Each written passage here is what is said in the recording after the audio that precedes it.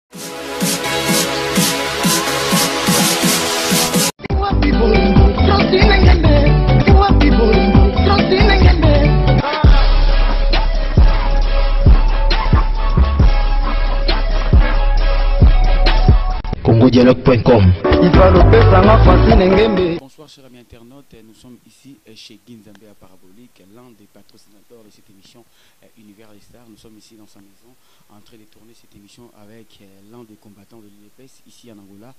du côté de Ojainda, l'un des quartiers de pichot de Luanda, la capitale angolaise. Lui c'est Papa Almeida à qui j'ai dit bonne. Oui, muito bonne idée.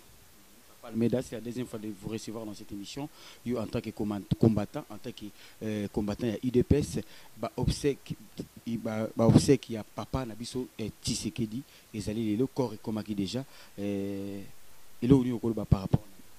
Eh, merci beaucoup Univers de Star e, emission tolingaka mingi kolanda na mboka na biso oyo ya Angola. Eh, papa Kisekedi toyebaki ke kore c'était prévu eya na tongo tolandeli ba information bwabi na tongo te na 18 heures na ndenge bozolekisa emission awa presque 18 heures kuna pe tolandi na Congo ke kore ekomi En tout cas ezalaki nanu mua mawa po akufaki mua kala.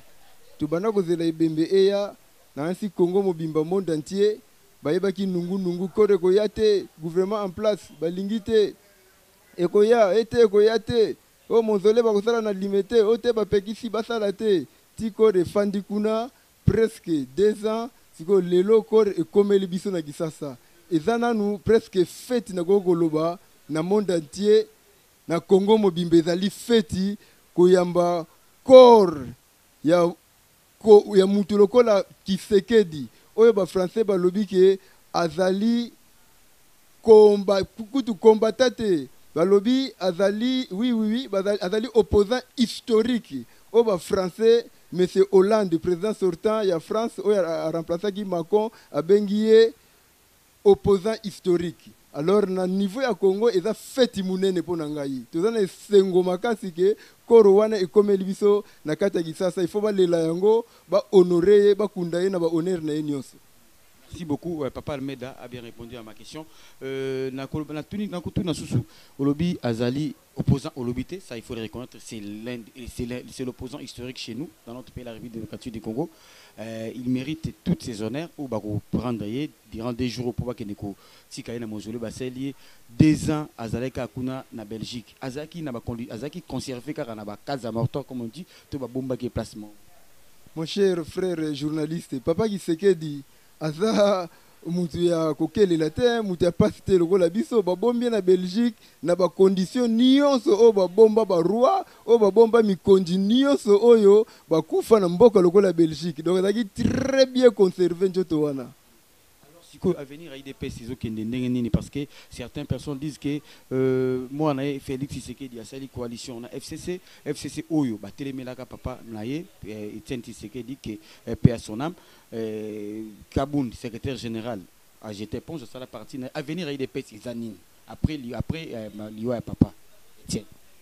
Pona ko repondre bien na question na yo, Kabund asali parti na ye entre guillemets na ndimi yango nanu te nayebi ke kabund aza kaka na udps et puis pona parti politique oyo ba bengi udps udps eza ko se comporter tres tres tres bien et puis eloko mususu olobi awa ke Felix asali mua allie na batu ya PPRD bon politique pe Felix azo kende nango na Congo en tout cas Eza politique moko ya malamu po nakanisi soki Ndjindji to Mpese to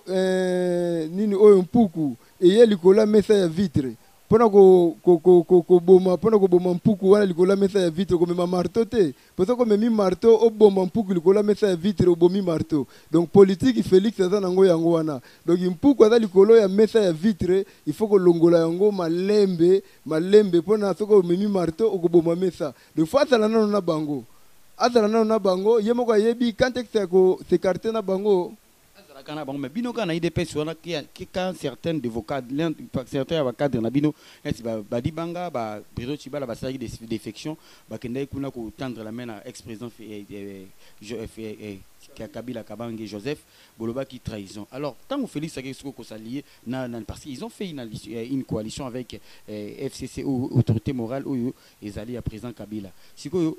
okoki oloba nini par rapport wana parce que ba Bruno Tshibala bakendaki kuna ba tandaki main na president ex president Kabila bakomi ba premier ministre tout comme mpe ye moko Felix Tshisekedi atendre main na president sortant Kabila mpo basala coalition basala gouvernement union nationale entre bango bino batu ya udps na bango. Mon cher pouvoir nde balobaka na français le pouvoir ne se donne pas mais ça s'arrache omoni Felix akomi president par election gouvernement sortant basalisi election Felix azui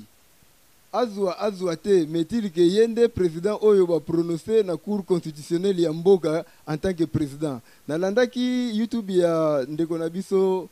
Eeh que fais-je encore son nom eeh Monkia Gabriel Monkia alobaki soki oza na bwatu ozo katisa ebale na mutu azo mema bwatu ata azo finga yo na kati ya ebale kozongisa te zela soki okatisi ebale okomi na ngambu wana mususu bongo ozwa force ya koleka ozwa force ya ko repondre mutu oyo aza komema yo na bwatu Felix akomi president na ba elections olobi premier mababa dibanga Olobi problème ya Bruno Tshibala, Bruno Tshibala ba votaki ye te ndenge ba vote Felix, Felix aza president elu ba votaki ye yango aza wana, sikoyo alliance oyo asali na batu ya PPRD balobaka kaka alliance, alliance yango pe tozo mona yango te, ba accord yango pe tozo mona yango te. Alliance ezali effectivement ba reconnaitre que baza na, nazo ya, baza na alliance basalaki na bango parce que Nde ezali wana basololaki bien avant oui toza toza batu ma mai ningana pamba te babi present eh, Felix Tshisekedi oyo aza elu asalaki accord na na na na na na na na FCC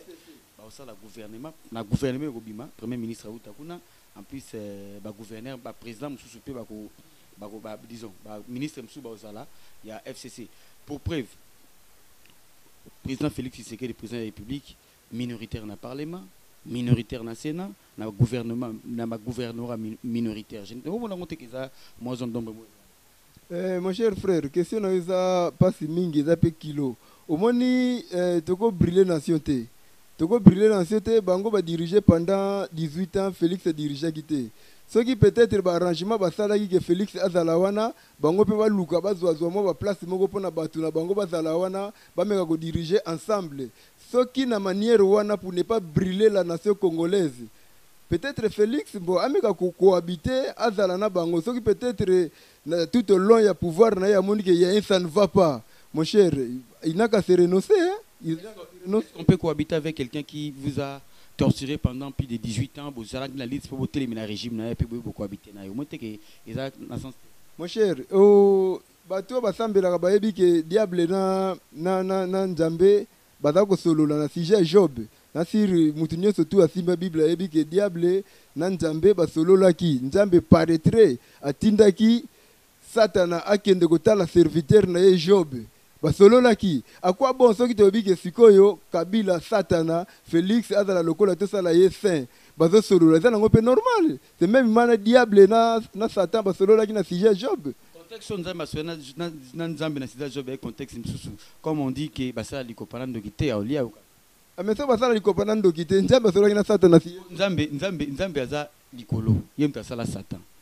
Tobeta masolo ya mokili ya politiki Kabila etait pendant 18 ans il a toutes les forces possibles pona kosala mwa mabe moko boye aza na armee aza na mbongo koleka batu tout baza wana donc nde eza wana na Congo l'homme le plus fort pour le moment c'est lui il faut le reconnaitre aza na facilite ya kosala eloko moko boye po mbilinga mbilinga ekota na Mon cher, na politique ba enjeux nionso eza necessaire, eza pe normal pona mboka ekende liboso. A l'instant mboka pe ezokende yango liboso, Je ne pense pas, namoni te esika oyo Kabila a bloquer mboka ou place moko te namoni batu ya PPRD babebisi parcours ya 100 jours ya Kisekedi. 100 jours ya Kisekedi se comporte bien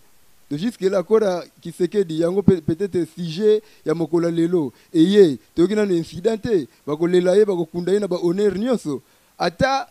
PPRD na cash Baza ya kosangana mais dire que le pays se comporte bien. Mais alors bino sikoyo awa na Luanda ba combattants ba disposition organisation eza ndenge nini po po na moni ba banderoles partout po bino pe na ndenge na bino awa bo honorer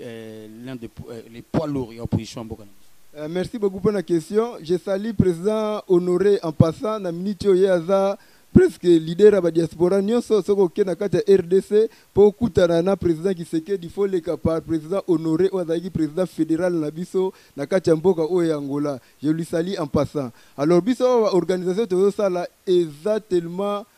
makasi na niveau ya shkwanja na niveau ya ojaenda organisation ezali na niveau ya palanka organisation ezali na kanisi Eeh ba media bakotambola juste après avoir kokitisa corps ya kondo na se ya mabele bongo bino media botambolaka bokoyeba bisika bisika bisika oyo t'organisaki oyo feti ekozalela. Sikoyo batu na batu base na base organiser na ndenge na bango to bozala bino nionso unis place moko jour bakokitisa corps ya kondo na mausolee?